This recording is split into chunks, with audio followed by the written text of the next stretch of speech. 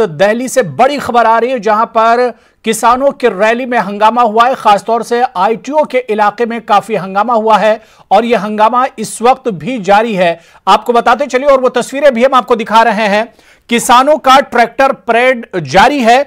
हज़ारों की तादाद में किसान दिल्ली की सरहदों से दिल्ली कूच कर चुके हैं। इस बीच सिंघू बॉर्डर से पहुँचे संजय सिंह गांधी ट्रांसपोर्ट नगर और करनाल बाईपास पर किसानों को मुंतशिर किया गया है। दो तस्वीरें आपके सामने और आप देख सकते हैं किस तरह से किसानों की ट्रैक्टर रैली में हंगामा बरपा हुआ है। पुलिस ने आँसू गैस का भी इस्तेमाल किया है। वहीं पांडव नगर में भी किसानों की भीड़ जमा है। आईटीओ पर किसानों ने बैरिकेड को तोड़कर आगे बढ़ने की कोशिश की, जिसके बाद पुलिस ने ताकत का इस्तेमाल करते हुए किसानों को पीछे ढकेलने की कोशिश की।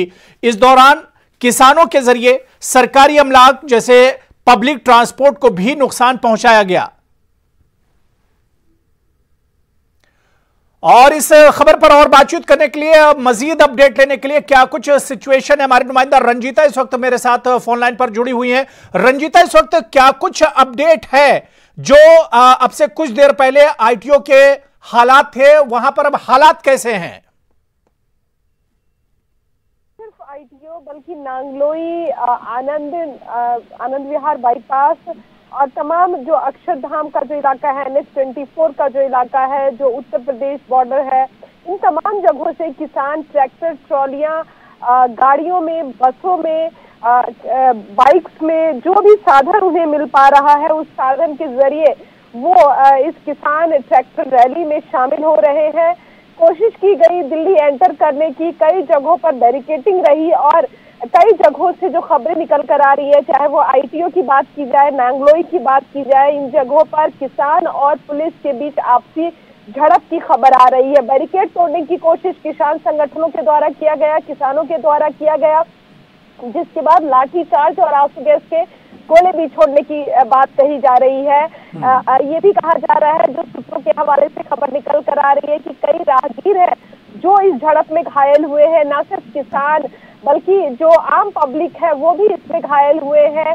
किसान जो संगठन है जो नेता है उनके उनका साफ़ तौर पर लगातार ये कहना है अपील कर रहे हैं वो किसानों से कि शांतिपूर्ण हम रैली कर रहे हैं और किसी भी तरह से प्रशासन को या आम जनता को किसी तरह से नुकसान ना हो इसकी लगातार कोशिश की जाए। वही सरकार और तमाम तरफ़, से ये कहा जा रहा है कि एक हिंसक रैली में तब्दील हो रहा है किसानों का ये आंदोलन हम्म। इतने हम कह सकते हैं लगभग डेढ़ दो महीने से टिकरी बॉर्डर की बात की जाए सिंघू बॉर्डर की बात की जाए गाजीपुर बॉर्डर की बात इन तमाम जगहों पर हज़ारों की संख्या में किसान जुटे रहे और साफ़ तौर पर इनका यही कहना था कि सरकार ये जो तीनों कानून किसान कानून लेकर आई है उसे किसी तरह से खत्म करे कोई बातचीत नहीं करनी। सुप्रीम कोर्ट की तरफ़ से जो कमेटी बनाई गई है उससे भी उनको चर्चा नहीं करनी। हम्म। और एक तरह से हम कह सकते हैं लेकिन रंजिता इस वक्त सबसे बड़ा सवाल ये उठ रहा है कि कई दिनों से दहली पुलिस और किसानों के दरमियान इस रैली को लेकर मीटिंग चल रही थी। आखिर हालात ये खराब क्यों हुए? ये नौबत क्यों आ गई? हंगामे की नौबत कैसे आ पहुँची?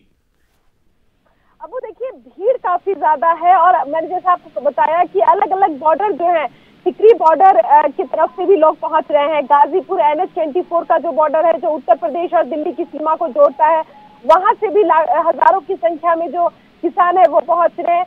भीड़ को कंट्रोल करना मुश्किल हो रहा है, क्योंकि जो जो इसमें संख्या है, वो न सिर्फ़ बुज़ुर्ग किसानों की है यूथ भी इसमें मौजूद है, महिलाएँ भी मौजूद है।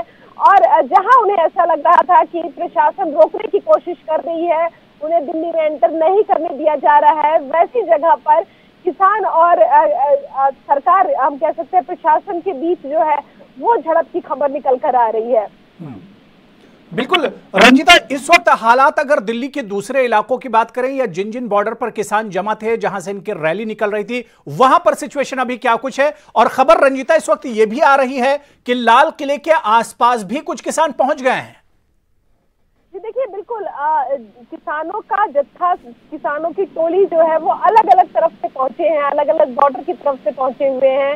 राजघाट पहुँचने की कोशिश थी किसानों की क्योंकि कहा जा रहा था कि वहाँ पहुंचकर वहाँ जो किसान नेता है वो किसानों को संबोधित करेंगे।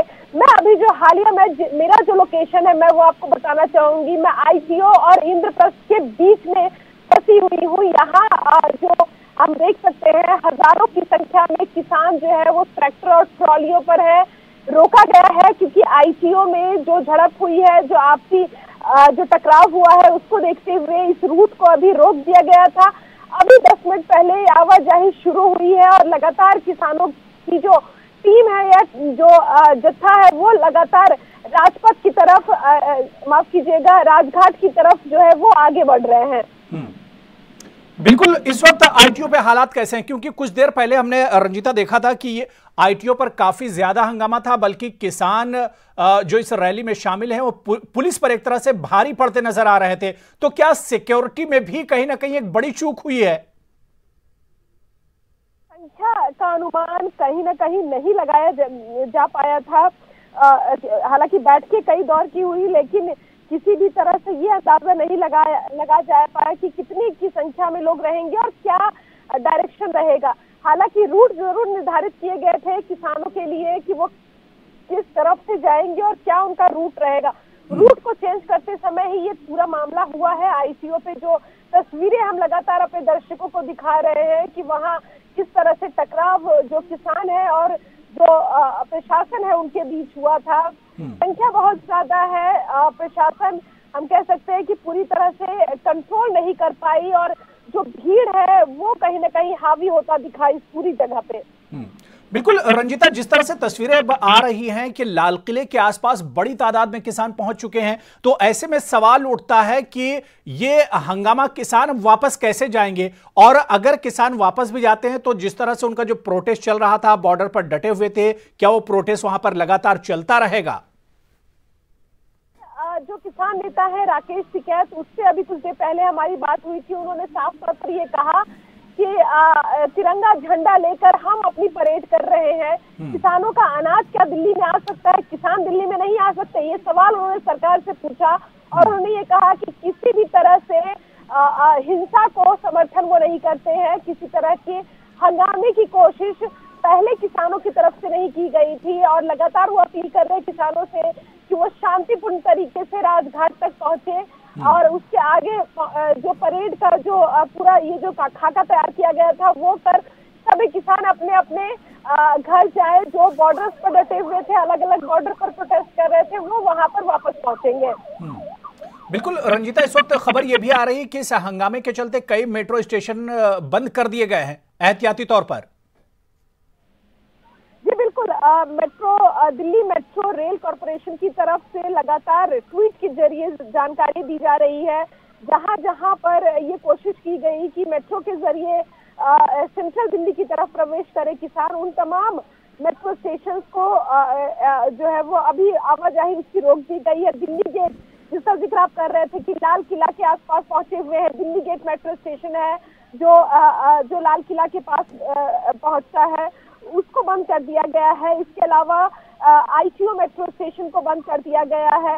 इस तरह के तमाम जो सेंट्रल दिल्ली लोकेटेड जो मेट्रो स्टेशन है, उनको एहतियातन तौर पर उससे आवाजाही जो है वो रोक दी गई है। हम्म।